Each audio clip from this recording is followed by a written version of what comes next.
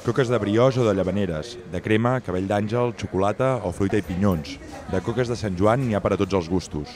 A la pastisseria Alzina de Cardedeu han estat treballant de valent durant tota la nit per a tenir a punt totes les coques de la rebella de Sant Joan.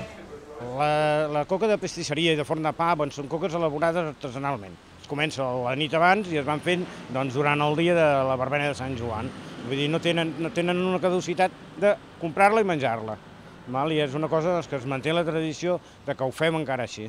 És costós perquè tens que treballar tota la nit i tot, quasi tot el dia, però bueno, es fa. La rebella de Sant Joan és una d'aquelles tradicions que no es perden. I és que, tot i la competència de les grans superfícies, les pastisseries encara tenen assenyalada aquesta diada com una de les dates fortes de l'any.